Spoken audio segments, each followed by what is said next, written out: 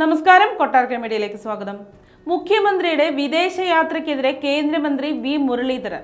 കേരളത്തിലെ ജനങ്ങൾ വേനൽ ചൂടിൽ പാടത്തും പറമ്പത്തും വീണു മരിക്കുമ്പോൾ പിണറായി വിജയൻ കൊച്ചുമകനെയും മകളെയും കുടുംബത്തെയും കൂട്ടി ബീച്ച് ടൂറിസം ആഘോഷിക്കാൻ ഇന്തോനേഷ്യയിലും സിംഗപ്പൂരിലും പോയിരിക്കുകയാണെന്ന് മുരളീധരൻ പറഞ്ഞു. മുഖ്യമന്ത്രി വിദേശ രാജ്യങ്ങളിൽ സ്വകാര്യ സന്ദർശനം നടത്തുന്നത് അദ്ദേഹത്തിന്റെ വ്യക്തിപരമായ കാര്യമാണ്. താൻ അതിനെ ചോദ്യം ചെയ്യുന്നില്ല. എന്നാൽ ഈ യാത്രയുമായി ബന്ധപ്പെട്ട ചില കാര്യങ്ങളിൽ അദ്ദേഹവും പാർട്ടിയും വ്യക്തത വരുത്തണം. പത്തൊൻപത് ദിവസം ഇവരെല്ലാവരും കൂടി മൂന്ന് വിദേശ രാജ്യങ്ങളിൽ വിനോദസഞ്ചാരം നടത്താനുള്ള വരുമാന സ്രോതസ് എവിടെ നിന്നാണ്? അത് എവിടെ നിന്നാണ് വരുന്നത്? അത് ആരാണ് സ്പോൺസർ ചെയ്തിരിക്കുന്നത്? അത് അദ്ദേഹം വ്യക്തമാക്കണം. അല്ലെങ്കിൽ അദ്ദേഹത്തിന്റെ party secretary M V Govindan പറയണമെന്ന് വി മുരളീധരൻ പറഞ്ഞു. പത്തൊൻപത് ദിവസം മുഖ്യമന്ത്രിയും പൊതുമരാമത്ത് മന്ത്രിയും കേരളത്തിലില്ല. ഈ ചുമതല അത് ആർക്കാണ് കൈമാറിയിരിക്കുന്നത്?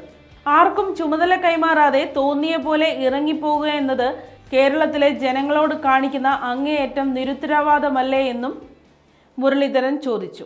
അങ്ങേയറ്റം സാമ്പത്തിക പ്രതിസന്ധിയിലാണ് സർക്കാർ എന്ന് പറയുമ്പോൾ അതിന്റെ തലവൻ ആഡംബര യാത്രയിൽ മുഴുകുന്നതിൽ പാർട്ടിയുടെ നിലപാട് എന്താണ് എല്ലാ കാര്യങ്ങളിലും മോദിയെ വിമർശിക്കുന്ന ആളാണ് സി സെക്രട്ടറി. അദ്ദേഹം ഇക്കാര്യത്തിൽ ഇതുവരെ ഒന്നും മിണ്ടിയിട്ടില്ല. ഇക്കാര്യം പ്രതിപക്ഷ നേതാവിനോട് ചോദിച്ചപ്പോൾ ഒന്നും പറയാനില്ലെന്ന് അദ്ദേഹം പറഞ്ഞതെന്നും വി മുരളീധരൻ പറഞ്ഞു. റോം കത്തിയെരിയുമ്പോൾ വീണ വായിച്ച നീറോ ചക്രവർത്തിയെക്കുറിച്ച് മലയാളികൾക്ക് കേട്ടറിവുണ്ട്.